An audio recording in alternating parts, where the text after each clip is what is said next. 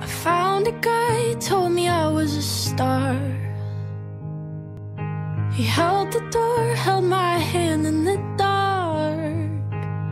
And he's perfect on paper, but he's lying to my face. Does he think that I'm the kind of girl who needs to be saved?